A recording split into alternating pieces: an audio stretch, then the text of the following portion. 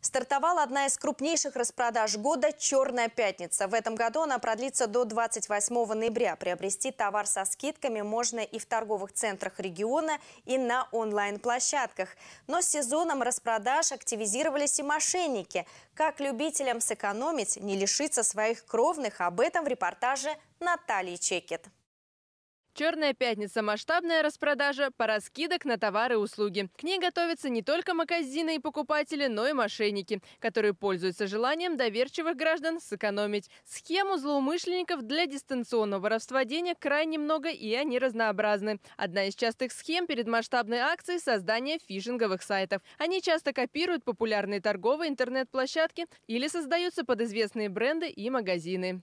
У этих сайтов обычно нет системы сертификата безопасности, и поэтому такой зеленый замочек в адресной строке. И поэтому, когда вы заходите, будьте внимательны, смотрите на это наименование. Следующее.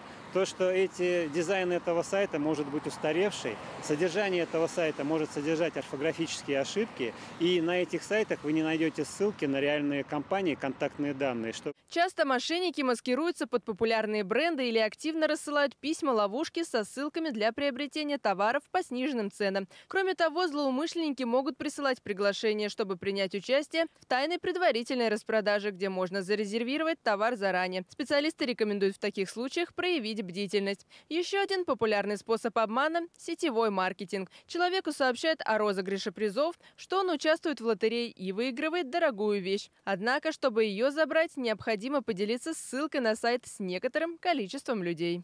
И люди, так называемые счастливчики, которые могут считать себя таковыми, и начинают рассылать эти сообщения по социальным сетям своим товарищам. Это является как бы основным условием этого сетевого маркетинга, когда необходимо направить это сообщение какому-то контрагенту, либо выложить это в общедоступный чат. Так как люди склонны доверять своим друзьям, некоторые из них попадают и клюют на эти уловки.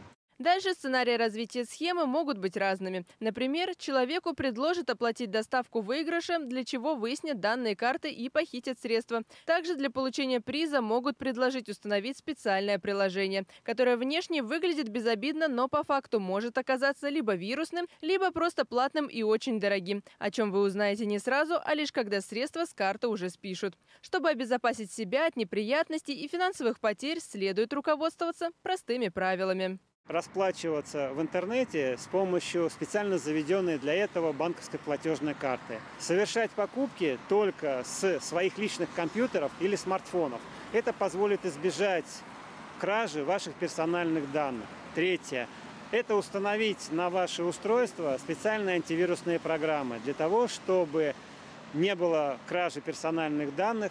Специалисты рекомендуют, проявив бдительность и совершив несколько несложных действий, можно сберечь не только свои деньги, но и нервы.